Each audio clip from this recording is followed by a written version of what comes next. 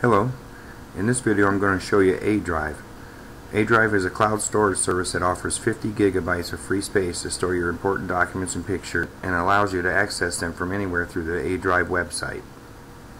Adrive is great for file sharing, accessing important documents or pictures from anywhere there is the internet, and it's great to use for backups. And I'm going to open a web browser and in the search box I'm going to type Adrive and I'm going to click on the sign up link when the Adrive homepage opens the checkbox for free 14 day trial is checked I'm going to uncheck that and then I'm going to come down to the bottom and I'm going to check personal basic free 50 gigabytes It'll give you some information about the limitations of the personal basic plan. There is no online collaboration. You only have 2 gigabytes of individual file size limit. There's a mandatory banner, ads, and marketing emails. There's limited tech support, which is forum support only. And then there's the web interface only. So in other words, you don't actually install Adrive like you would SkyDrive or Dropbox.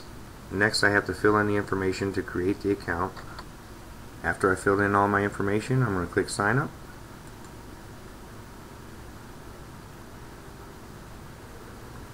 And the Adrive account has been created.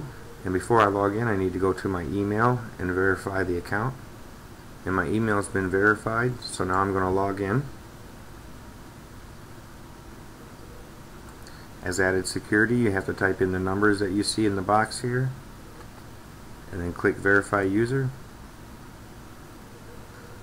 and this is my Adrive account right now I don't have any files or folders stored in it and I'm going to go to my files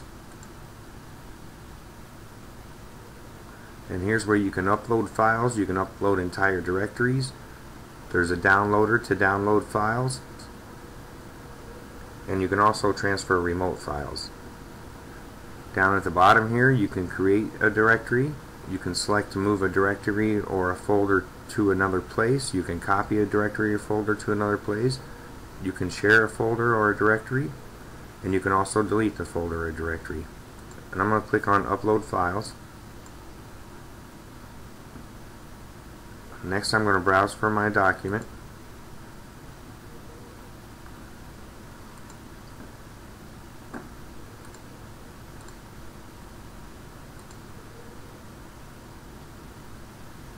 and the upload's completed.